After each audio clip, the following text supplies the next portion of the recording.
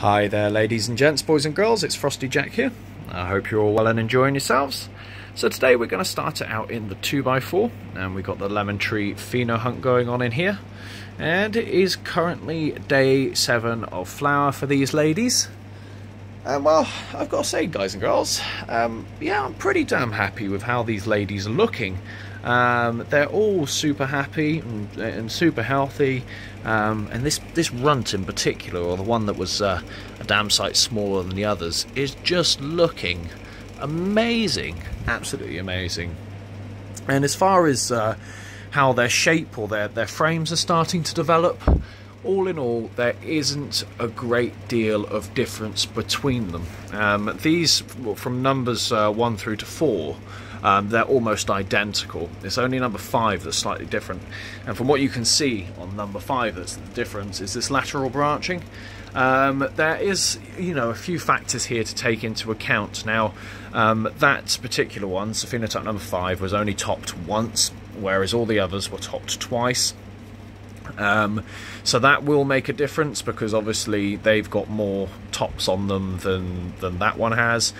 Um, so yeah, that is going to make a difference to your lateral branching. Um, how much? Yeah, probably actually quite a big difference to be honest. So I guess if I were to stick it across the board and had done exactly the same thing and top them all exactly the same, you'd probably see you know, um, see them all looking relatively the same, apart from number five being a bit of a runt and, and not as vigorous as the others. That doesn't mean to say that it's um, it's going to be crap. Um, it's just you know you just have difference. Some are slower than others. Some are a bit more squatty. Um, I definitely think the, um, the internodal spacing is a bit tighter on number five, but again, not by any notable difference. Um, so as far as the thrip situation goes, um, well, you know, I thought, I had a feeling I was getting on top of it, and to a degree, kind of still, yeah, kind of still on top of it. Um, I've found a few adults again this week, um, which is a bit of a pain in the ass. So obviously they're still about, and there's still larvae about, and all of that kind of crap. Um, so, um, all that being said, um, I really what I need to do, and it's not that the predatory mites don't work. Um, the predatory mites have definitely done a uh, done a great job in keeping the numbers back and what have you. Um, but unfortunately, my conditions of the environment in here isn't always, uh, for the most part, not favourable for them to be able to breed and what have you. So you know, eventually the numbers will dwindle, die, what have you, um, and the the pests can then thrive again, i.e., the thrip um, and unfortunately, to reapply um, these predatory mites, um, it can be quite expensive.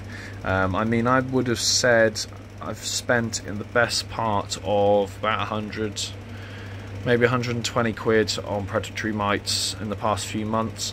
Um, so well, I say past few months, but obviously on the last run we had thrip problem as well, and you know I was playing with them then you know, don't get me wrong. Uh, some of the, the mites will stay around, uh, especially the the ones that live in the soil, the predators that live in the soil, um, the the mighty mite and the Amblyseius. Um, no, not the cucumeris. Oh, I can't remember the bloody name of it now. Um, but another popular predatory mite as well, uh, Hypoaspis miles. Um, they will stay and live in the soil, and you can. Those conditions are quite easy to provide for them. Um, but for these other little mites, like the swirskii and what have you, um, yeah, you need the right conditions for them to breed. Um, so, anyway, sorry, I'm rambling a lot about that the whole point I'm getting to here is it's quite expensive to do this, and a damn sight more expensive, uh, inexpensive um, to use uh, insecticidal soaps and a few other bits and pieces, i.e., neem or neem oils um, or hot spices, peppers, what have you. Um, there's a few different remedies for it. So I have already been given a recipe to um, by a good friend uh, to uh, I think it was neem and seaweed and a few bits and pieces to eradicate the thrip. Um, I was also sent over a soy a soybean, I think it was soybean mix as well to um, to get rid of the uh, thrip larvae. Um, the reason why I didn't use those is because I w- I didn't want to harm a the larvae um, for the for the beneficial predators. Um, but I also wanted to see what effect these guys would have it keeping the numbers down, and whether and whether it would work on a one-time hit. Clearly, it's not going to work on a one-time hit, and you need to keep reapplying over and over again. Again, another learning curve for me, I guess. Um, but yeah, it's quite an expensive way to go about it. So, as a prevention method, yeah, I, I reckon these these would definitely have their place. Um, but um, but uh, as a um, not a prevention, but as a, an eradication method. Um, these guys just aren't cutting it, or in my opinion, as of yet. Maybe they would. Maybe they would if I had the money to keep buying them over and over again, but I really don't. Uh, so yeah, we're going to have to go down the insecticidal soap route and also use that soybean um, to get rid of these bloody thrips. Because another thing, they're across the whole of my garden now, so they're not just in here.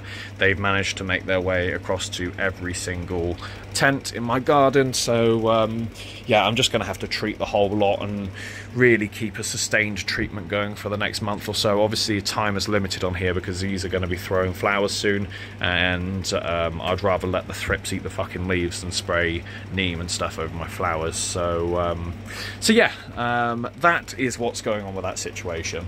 Um, but yeah, apart from that, it is. Um, like I say, day seven in here, and they're all looking really bloody healthy. So happy with that. Over to the other 2x2 and we have now got the orange juice in here and uh, basically trying this new method of um, of using these or these compost compostable um, they're kind of like wood chip um, pots as you can see um, I know it's a bit of a jungle in here, so it's kind of hard, to figure out. I need to cut all of this down, but I just haven't got a chance at the moment.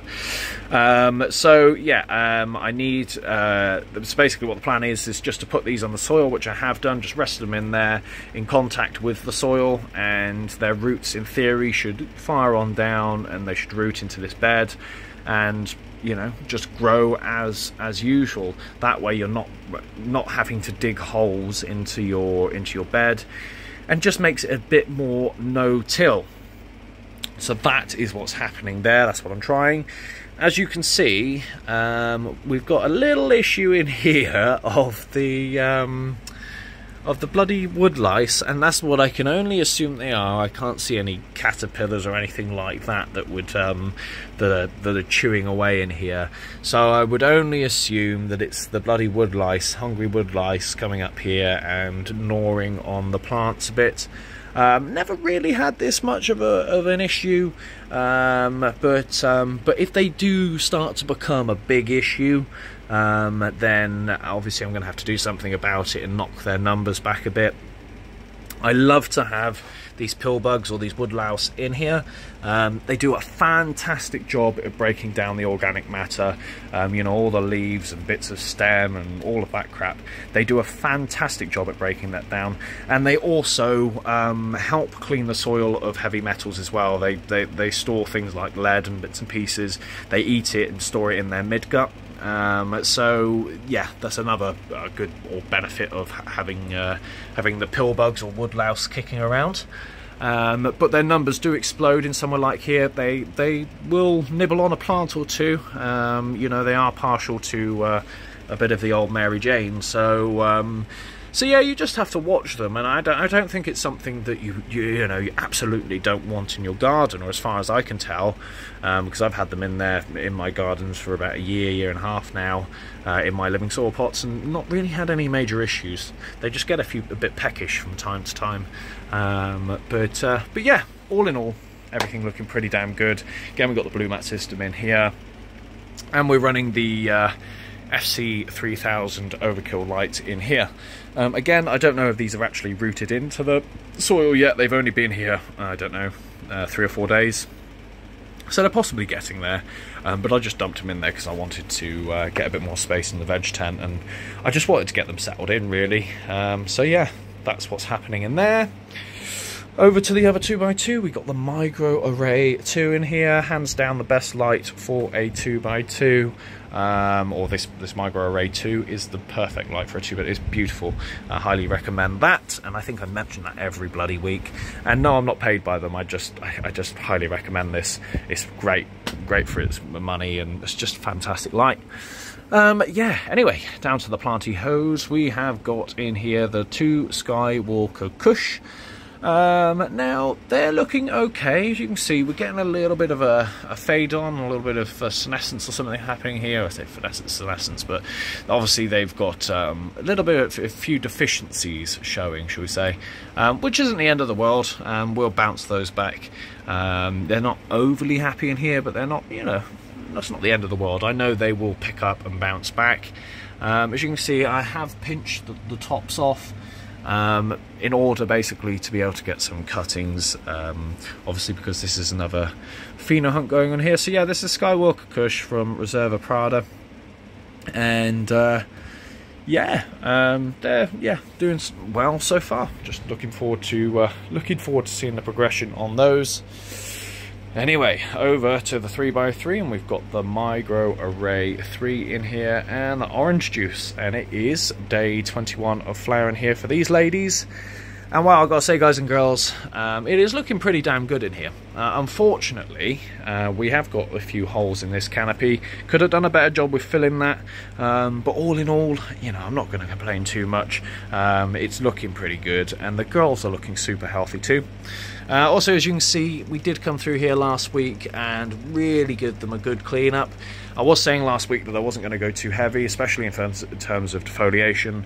Um, I wasn't even really going to bother touching, do, doing a defoliation. I was just going to just do a bit of a lollipop, um, but I went harder than uh, initially expected and as you can see gave them a real good cleanup and also did that defoliation too and just left um, well at the time the main top three but obviously they've grown a bit now so we've got like four or five leaves coming out the top. Um, and yeah just really opened up that canopy. Allowed a lot more airflow a lot more light penetration um, and they were just a lot happier for it. Uh, one of the main reasons I did that defoliation when I did it was a because the scrognet was that wasn't in there at the time, um, and I could have all the plants out. And uh, yeah, also it was just um, the plants were on on point. They were looking so happy and so healthy um, that um, that I had the option to do it. Uh, and know that they wouldn't be stressed too much. And if you can look at these stems, I don't know if it's quite if it's clear enough on the on the camera. You can see there's no purple streaking, no signs of stress. And like I said before, the orange juice, if she gets stressed, is prone to streaking and, and going purple. So you can tell that there's going to be no stress in there. She's just, yeah, looking super, super happy and super healthy. Um, so looking forward to seeing how these ladies develop over the next uh, over the next few weeks. Obviously, a stretch is done now, day 21. Um, we'll be looking into, you know, flower formation now. They'll be focusing more on their flower development and elongation and, and uh, basically enlarging enlargement of their uh, of their flowers. Um, but yeah, everything looking pretty damn good in here. Absolutely love this Aray 3. Fantastic fixture. Anyway, last but not least, the veg tent. So, what is going on in the veg tent? So obviously we've got the after dinner breath mum over here. Pretty much decided now I'm not going to be running the after dinner breath. Um, again, I didn't bring any flour through to show you this week, unfortunately, so I do apologise for that. I will bring some flour through though, um, because I know it's nice to see the finished product. Um, very often on my channel you see it grown, but you never actually see the finished product. Um, and you don't oh, very often get a smoke report either. So um, I do apologise for that. It's just something I'm not very good at. Um, but uh, yeah, anyway, uh, we've got after dinner breath there. That's um, that's destined for the bin really, or, or for someone's garden, but um, not mine. Uh, orange juice mum down there, another orange juice mother over there. Um, the cuts of the lemon tree in there. So I only potted those up this morning. Um, they rooted, they took about 14 days to root, which was absolutely fine, but they all chucked roots at about the same time, which was really great to see. Makes life so much easier. So obviously they're going to stay in the prop dome for a couple of days, and I'm just going to start hardening them off, and then eventually I'll lift the lid up, and uh, away we go. Got two orange juice mothers down in here in these, again, these um, these wood chip, I think they're called wood chip pots. They might be cocoa, but it said wood chip on the, on the, um, on the label of them. Um, I've got to admit, uh, I'm not a massive fan of these pots. Um, I love the fact that they're compostable and all of that, they're El Natural. Um, to be honest, my plastic pots, I reuse them over and over and over again. I had them for years, um, so that isn't an issue. The only time I lose them is when I give them to people.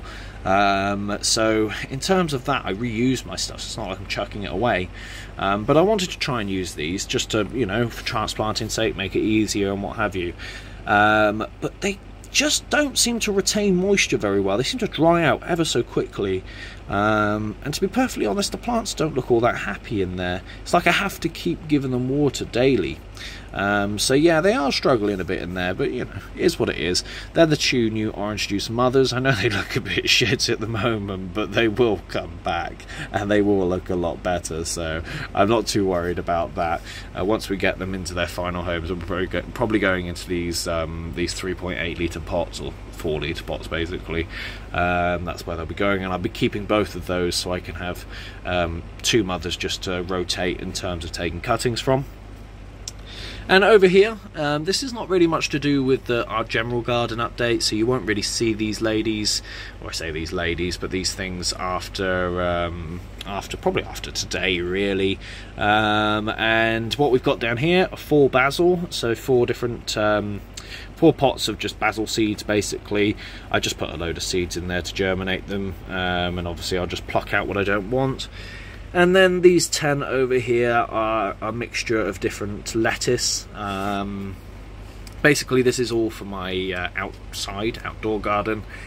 Um, whether these ladies, or I keep saying ladies, but whether these plants will actually go out, I don't know as yet because my bed's actually full at the moment. My raised bed's now full of lettuce and spring onions and all those good things. Um, so I don't actually know what I'm going to do with this. I might just have to find some space outside and just chuck them in. We'll see see how it goes, see how things progress. Um, I just got carried away with um, planting this stuff. The missus wanted some basil. Um, as far as the lettuce goes, why I put 10 lettuce in at once, I don't know, because there's only two of us and we aren't going to eat 10 lettuce in one fucking week. So, and obviously they're all going to be ready at the same time. So yeah, um, yeah, but just playing around with vegetables really, guys and girls. Um, so that's all that's going on in there.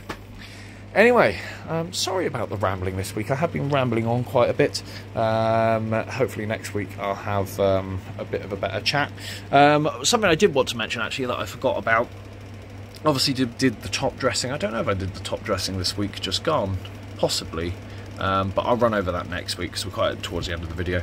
Um, but I have used sawdust again for the mulch layer in here and this is off of um, quite an old beech tree. Um, and the fungal life in that is is immense especially with beech. I've always found that there's a hell of a lot of fungal life going on on, on old beech wood. So uh, so yeah I thought I'd use that as a bit of a mulch layer and, and see what happens. Um, but the cover crop is still busting on through. I've obviously broke up the cover crop but uh, but it's coming back through again. Anyway ladies and gents rambling again. Um, thank you ever so much for watching. Please like and subscribe if you haven't already. Uh, enjoy the rest of your week, and we'll be back next week with another little update. Anyway, guys and girls, bye for now.